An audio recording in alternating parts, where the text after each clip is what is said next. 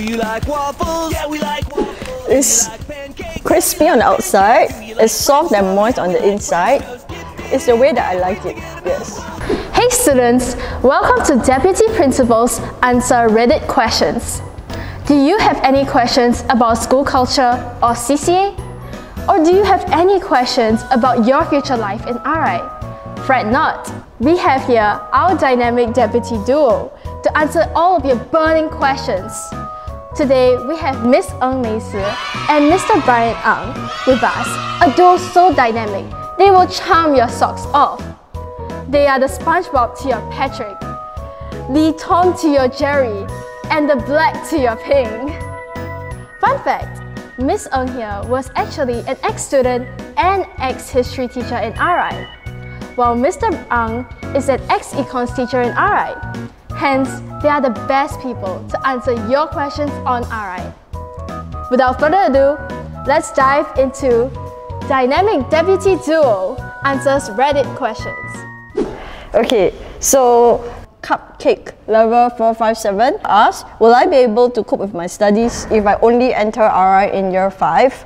I think I think the, the same question applies to many other schools, right? Um, learning in a JC is going to be different from learning in the secondary school and I think that's the same for all JCs as well. Um, so as long as you are willing to put in the hard work, as long as you're willing to work the teachers to adjust um, the way that you approach your materials and you know have a sense of adventure you know, reach out, uh, talk to people, work with teachers. Uh, I think it's going to be all right.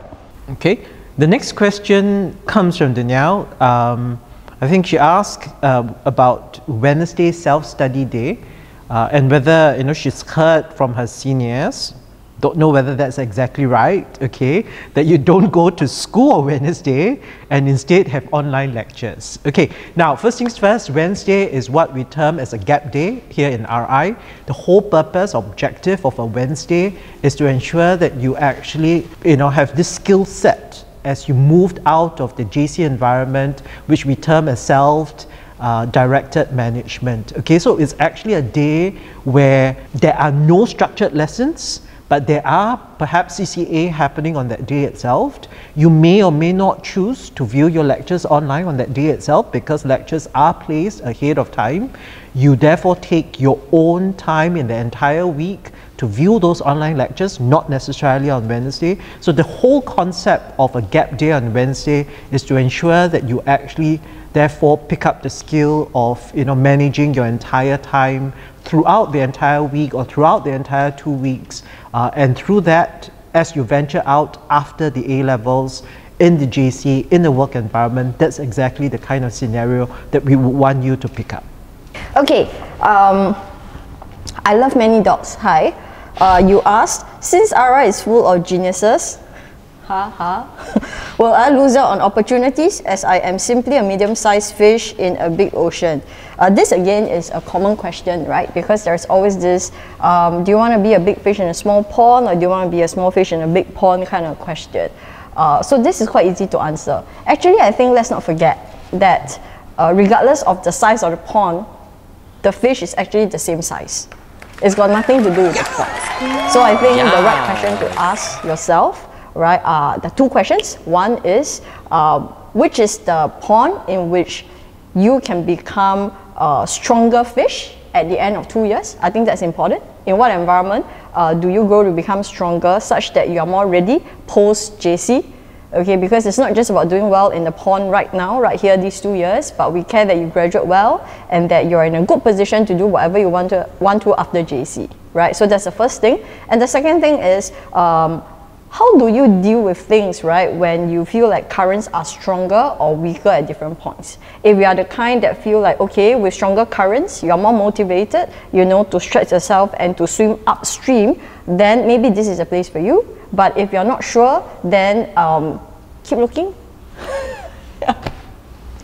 Okay, I think this is an interesting question from Unsteady Wish, uh, who states that in comparison to the stereotype of always mugging students in RI, what are the students actually like? Oh my gosh, how is it in the very first place that you would think that RI students are mugging? I think if you ask any teachers, they will probably ask, they will probably tell you that we would like students to be mugging more, okay? I I think in RI you will find the diversity uh, of students, okay? I mean, of course, there are those who will continue or are interested in their studies and I think we appreciate the fact that they uh, you know, go into depth, but uh, there is a lot of other students here who participates in a lot of other activities other than just academic studies, and I think that's exactly what we want. So if you are someone who likes to, you know, do other things other than your academic studies, please do come to RI. From Unsteady Wish, we go to Mi Weong. As someone who is not particularly skilled or experienced in any field, I'm worried about my future CCA options in RI. Um, generally speaking, how much prior experience do people in RI CCAs need? Okay, um, so first of all, you are probably skilled and experienced in something. So please have uh, more confidence in yourself, right? We always think that we are worse than we are, but that's not true. If you think about what you really like, you will definitely find something, okay? And then the second thing is that everyone, right, uh, will get the opportunity to attend trials in CCAs, right? So that's not to worry too much about that. Uh, but of course, with trials, some people get selected, some people don't.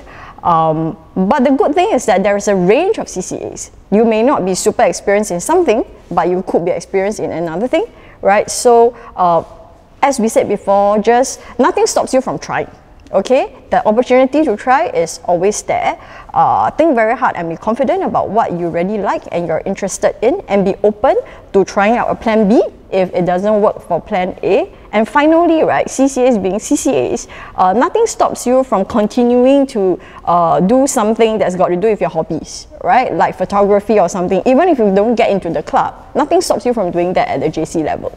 Yep now, Vanilla Chocolate 3 says, Hi, O level student here. When you go to RJC, like, are people there extremely competitive or generally quite chill? Uh, first of all, there's no more RJC. Okay, we have reintegrated. It's now known as RI. Uh, and I think let's just you know set aside this concept of competition. I don't think that you know competitive is a bad word or something that we want to actually move away. I think competition is important because you know iron sharpens iron, and I think that's exactly what you want to actually be looking out for here. As what uh, Ms. Ng previously had said, you know the question really is how do you, as a fish in a pond, grow, right? And if there is competition, obviously you will actually be able to grow stronger. So are students in Raffles here uh, competitive or are they quite chill? They are both. And that's exactly what we are looking for, you know, the competition, but at the same time knowing when to actually chill, when to actually take a break, uh, and, you know, and, and that's the kind of spirit that we want. Okay, the next one is from um, Treasury L1R5 here how many from previous batches end up in Ivies or Oxbridge? So we don't we don't really uh, share statistics, right? Because statistics are not meaningful to each individual student. So that's the first thing to remember. Okay, it's not about the overall like likelihood or probability. We're more interested in how uh, everyone finds the area that you want to go into after JC. So we have a, a really really a uh, specialized higher education office uh, with counselors who can help you. Uh, talk about the courses you're interested in, some uh, careers you're interested in, tons of exposure talks as well from speakers, and then to university courses and even applications. So all that support is here. Uh, as long as uh, you work with us, right, uh, we can talk you through uh, this interest and help you find where, where, where you belong to best after JC. Yeah. Now next, I think this is a question that a good number of you have in mind. Uh, tomato Pretz as well as Ting King Fai Ting, okay, uh, has actually asked this. Uh, is there an obvious divide between JAE and RP students? Uh, is it difficult to find friends if I'm a JAE student since IP students around know each other? I think this divide, it's sometimes, it could be real, uh, but most of the time it's very much imaginary right? Because a divide is what you make it out to be. Uh, we have students who are from uh, the JAE track who come in on their own, as in, you know, they're the only person here in the school, but they moved on to make new friends and, you know, they moved on to actually take on leadership positions or other positions in school and participate very well in the school. So really, I think the question should actually be, how confident am I to come into an environment which will benefit me, which will actually allow me to grow alongside other people whom you think are of your you know same caliber. So if you think that you are willing to come in, give it a try, I think this is the best environment for you. I also think just to add on, right, that many JE students they come in at the point of coming in, they could be a bit anxious. But when we talk to them after six months, eight months, and a year, they always always tell us like, actually the kids from RP are very friendly one. So so actually that's true. That's true. You know. So at the start it will always sound a little bit overwhelming, but actually eventually you'll realize that everyone is here to want to make new friends, regardless of what school they come from. And in fact, I think for JAE students, they come in with a different set of experience.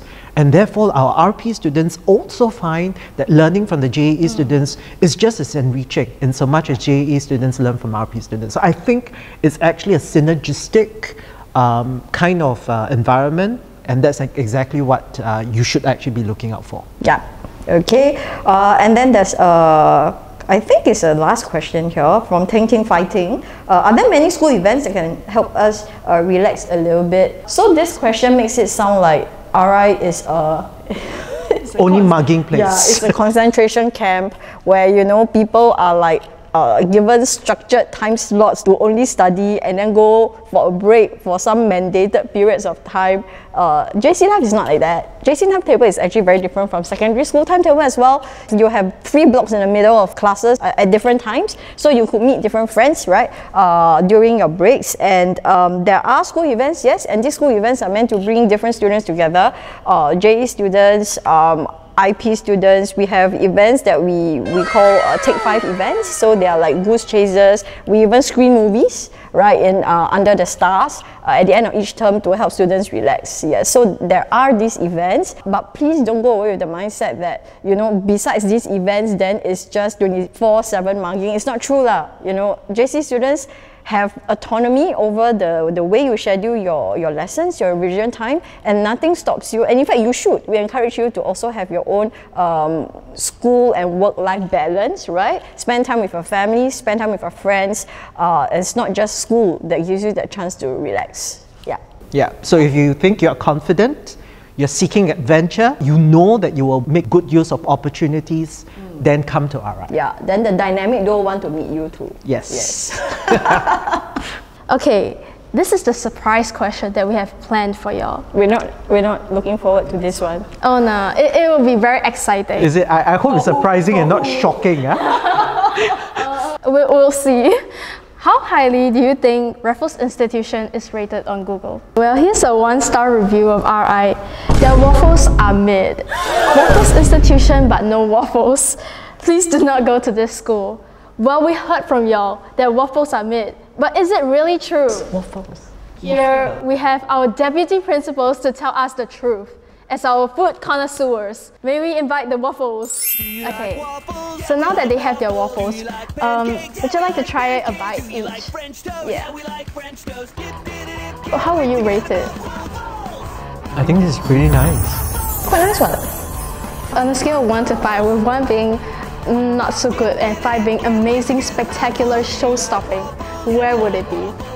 I'll give it a four. I'll give it a 4 too. It's crispy on the outside, it's soft and moist on the inside.